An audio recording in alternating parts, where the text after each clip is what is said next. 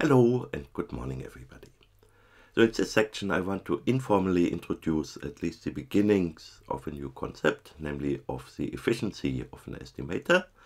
And once we have this in place, I want to discuss a bit more about robust estimators with a view on efficiency and it turns out there is some trade-off to be made. Namely, more robust estimators have lower efficiency and in contrast, estimators with higher efficiency are less robust. And on this scale, I want to introduce two more estimators which are good in terms of breakdown point. So they are very robust, but which then in exchange will have low efficiency. So let's see what we can do there. So I want to start by giving a very informal discussion of efficiency. The reason is one would need to know a bit more theoretical statistics to do that properly. So in theoretical statistics, efficiency is defined as something where I just want to write best possible variance of an unbiased estimator for a given estimation problem divided by the actual variance. So that is always less than or equal to 1 because best possible means smallest. We want estimators to have small variance, so the actual variance can either be the same or if it's a worse estimator, it's larger. And the problem I'm trying to work around here is best possible variance is expressed in terms of Fisher information, and we just don't have that concept. So what I want to do here, just for the purpose of this section, is I want to just ignore that, and I want to here just use 1 over the variance of the estimator.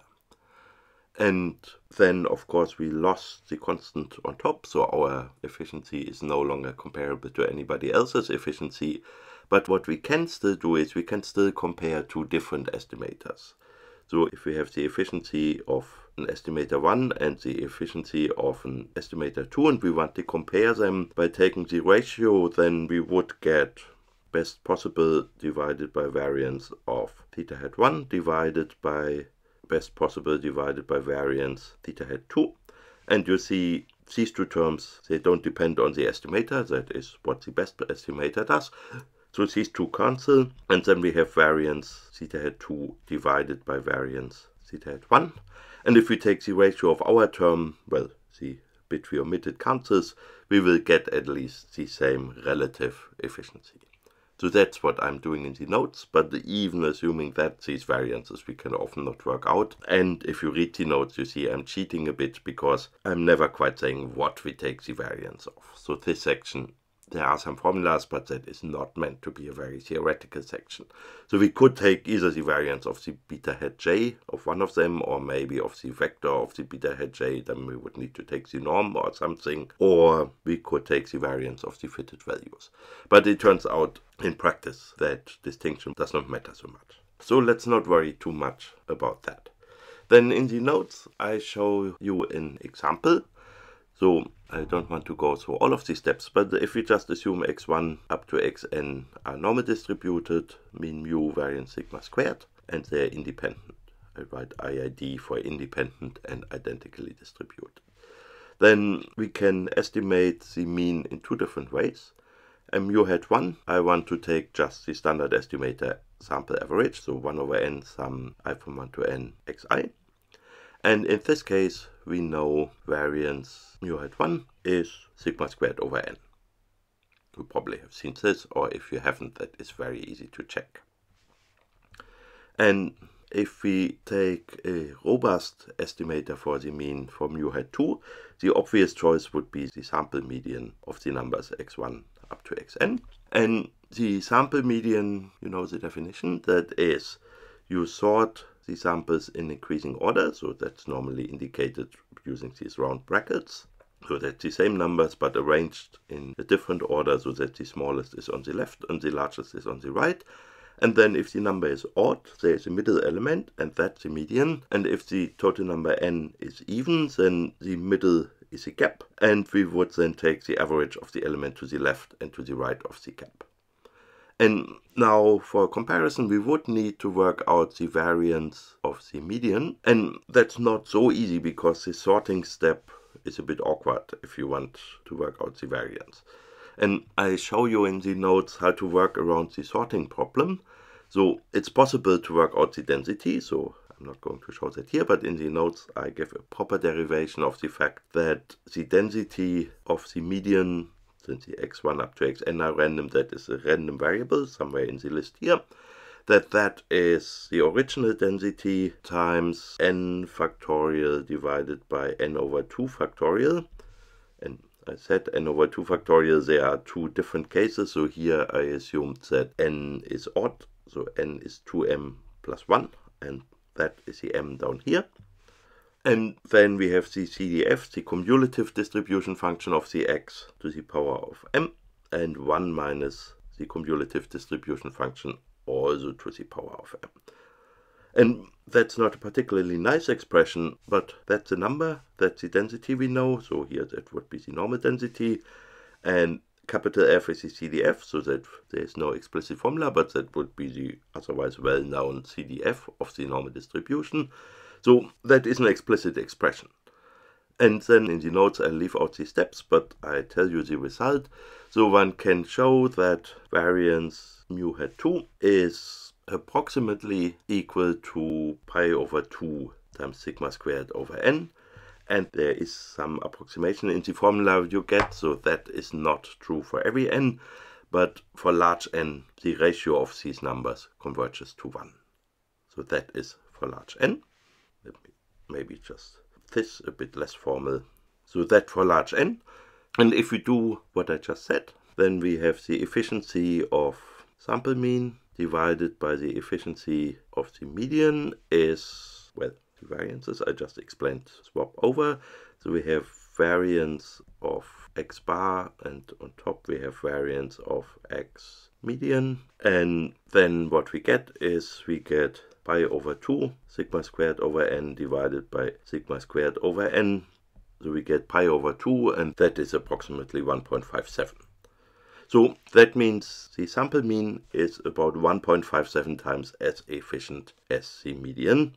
Or if we turn it around, the median is 1 over 1.57, so that is 0.64 times as efficient as the mean. Good, so either way we find the mean is a more efficient estimator than the median. And I hinted at this in the introduction that has to do with the robustness, namely more robust estimators, I'm trying to say, have a tendency of being less efficient. And here the median is robust, the mean is not. And we see, to go with this, the median has lower efficiency than the mean. Good, and mostly by analogy I want to make the point that a similar relationship holds for the for linear regression estimate. So let's not to be too pedantic here about what the details actually mean, but one can show. Usually the variance of unspecific here decays proportional to 1 over n for ordinary least squares.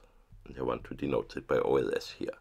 And I say usually because there are special cases, even for simple regression, if, for example, all the x values happen to be on the same spot. So if we get lots of samples here where there's error in the y, but the x's are all the same. In this case, we would just get never any information about the slope whatsoever. So taking more samples will tell us more about the intercept, but it will not tell us more about the slope. Though in this case, the estimator for the slope will not convert at all. Well, we divide by zero somewhere, so we cannot estimate the slope. And in this case, the variance of the slope estimator will not decay like 1 over n. And you can artificially construct examples. I think if, for example, xi is a plus 1 over i squared, then the xi are not all equal to each other, but they do rather quickly concentrate around the point A. So you get a bit of information about the slope of the regression line, but every sample, because the points get closer to A, contributes a bit less than the ones before, and I believe in this case you also do not get 1 over n. But in reasonable cases where the x values are actually spread, then it's very easy to get 1 over n. So 1 over n is the normal rate. Good. So that is the baseline. We are going to compare estimators to ordinary least squares. Then we did, for example, Huber's t function. That was one of the choices of what we can do for an m estimator. And Huber's t function, you will probably remember rho of epsilon was the same as for ordinary least squares close to zero, so one half epsilon squared if epsilon is close to zero. And straight lines, the formula was t times mod epsilon minus some constant if epsilon is further away from zero.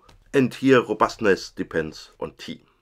In the limit when t goes to infinity, we have always this, which would mean we have ordinary least squares. So then the relative efficiency would converge to 1, but robustness would go to 0 because we have more and more outliers which affect the estimate. And if t goes to 0, then we are here more and more where we have a straight line rather than a parabola. So we get more robust, but the efficiency goes down. And Huber, the man who invented that himself, suggested to choose T so that efficiency is 95% of that one. And I have not checked the mass, but apparently if you take T equals 1.345 times the standard deviation of the samples, then we have efficiency of Huber divided by efficiency of ordinary least squares is 0.95. And I said this, if T goes larger, the number goes closer to 1, but the method gets less robust. And if t goes smaller, then efficiency goes down, but the method gets more robust. So we can tune that here.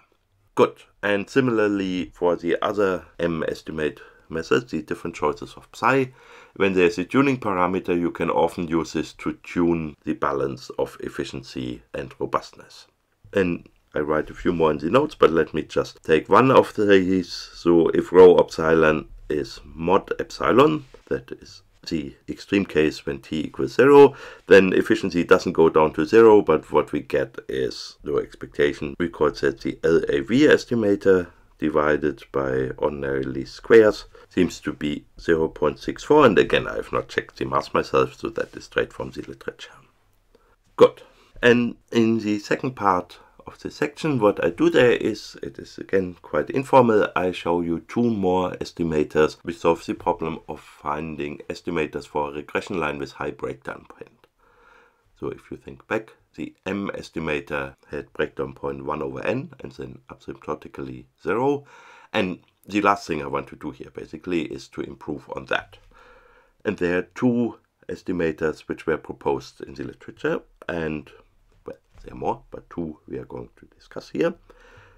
The first one is least median of squares, LMS, and that is defined as argmin over all parameter vectors beta, and then the median, and then we use the usual thing, our observation yi minus the predicted value, maybe I just write it xi transpose beta here, when xi is the ith row of the design matrix, and then median is over all samples, so 1 to n.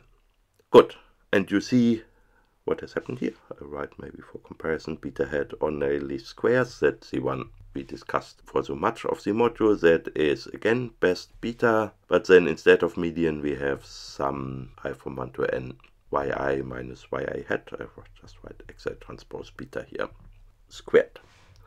Oh, and I forgot the square here. So you see what has happened. We have replaced the sum with the median, and that is clear, it makes it more robust, namely if one of the x or the y values is an outlier, or both, then the residual will be very large. But the median does not care about extreme values, it just cares about where is the middle of the distribution. So from that, we can already guess the breakdown point must be one half. And the disadvantage of this estimator is the efficiency is terrible. Namely, before we had sigma squared over n for ordinary least squares. And here it turns out, so it's still 1 over variance. And again, I want to not be too pedantic about what exactly we are looking at. But it turns out here the variance goes like 1 over n to the 2 third rather than 1 over n. And you can write sigma squared here safely.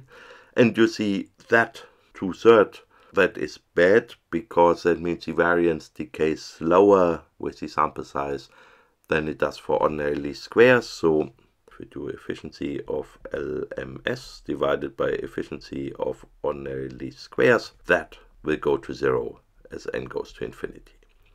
So in comparison to ordinary least squared, that method works not well. And you can see why that is, namely the median looks only at the samples in the sample in the middle, which is good for robustness, but that means it loses quite a bit of information. So most of the samples are ignored, which is good for outliers, but bad for accurately estimating the regression coefficients. So that does not help, and we pay for that here with the rate which is worse. And because people realize this, there is another method proposed, which is called least trimmed squares. And we just write that, least trimmed squares. And that is same as before, argmin beta. And now what it does is it tries to compromise between the solutions. So it has sum i from 1 to something. But then it doesn't take all of the terms here. It takes only a certain fraction. Let's take the k. And what it does is it takes the k smallest of these. So let's give these a name. Let's do r squared i, where I use these round brackets again to indicate the residuals are sorted in increasing order. So where ri is as before, yi minus xi transpose beta. Maybe I should use a different symbol here because we sort it in increasing order of squares. So in r1 squared, that's then now equal to r2 squared, and so on up to rn squared. So that's the order statistics, only I order it in increasing order of squared values, and then I take the smallest k of them. And you can already guess, maybe, from thinking about the median, we should have at least half of the samples here, else the regression line would be fitted to a small number of outliers, where it would fit maybe better than to the large bulk of the data. So for k bigger than n over 2. And it seems also clear k controls the robustness of the method, namely if k equals n, then we have the same terms as here, only in a different order the order doesn't matter for the sum. So we have ordinary least squares for k equals n. And, and the more terms we throw out, the more outliers we can ignore. And you can guess from this, it seems obvious, the breakdown point of the method, that is how many samples do we need to change to make the estimators go to infinity. And here, if we have k terms included, to include at least one bad term, we need to have n minus k plus 1 outliers. So the breakdown point is n minus k plus 1 over n. And you see k can go down all the way nearly to n over 2. So n minus k can be close to n over 2. So that here we can get close to 1 half, which is quite good. Good, and I mentioned efficiency. So that is the last thing we should discuss here and the efficiency of least trimmed squared compared to the efficiency of ordinary least squares that is now better than zero but not much better namely that one can show is approximately equal to 0.08 which is a small value but it is better than the wrong rate we had for this method. So that is an improvement and that was the reason this method was proposed in the literature. Good. And there is one last point which I just want to mention but not go into. It turns out this one here is a bit tricky compute because here if you say the k smallest residuals that depends of course on beta. If you choose different betas then you have different residuals and that is accounted for mathematically here. We just say we take the best betas but computationally that is not easy. So we just do a picture. So if we have some points here and some points here, so let's say it's x and y, then we need to, for example, try that regression line. That will hopefully be the winner if the method works. So we do the residuals, and let's say we want to do five residuals. So we would take the smallest five, maybe here and here and here and here and here. I'm not quite sure. And then we can adjust the line a bit until these five residuals are minimized. But instead, we could throw that one out and include this point here. Then we would need to wiggle the line a bit differently and maybe that gives then a better fit and the smaller sum of the smallest five residuals. And in the picture that's easy to see that that line is no good, but of course this line you would need to also try one way or other and there are lines here and all of these in the picture it seems trivial are not as good as the one I drew first but trying that out if there are more points and more inputs is really not easy. So for small n, the solution is to try all combinations of k points out of n, fit the regression line to these, and then look how small you get the residuals for these points. But that requires n choose k different combinations and you know these combinatorial things. If n is large, that number becomes infeasible very quickly, and then that approach doesn't work anymore, and instead one just picks small numbers of points, for example, at random, fits a regression line, and then checks whether by chance more points lie on the same regression line and repeats this often, and there are approximate algorithms like this. But we don't need to worry about that here. The method is built into R and in the notes you can see how to compute this estimate using R and somebody has solved this problem already for us. Good. And that was everything I wanted to tell you here. So this is the end of this video. And you will have noticed that was less formal and we did less details than in the previous sections and that is on purpose just to give you a bit of an outlook of a topic which we don't have the capacity to fully cover here. But there is a bit more detail in the notes, so you should now go to the notes and read the corresponding section and make sure you get at least the detail I've written there. And that is all from me, so I have to say goodbye now, and hopefully I'll see you soon somewhere. Bye bye.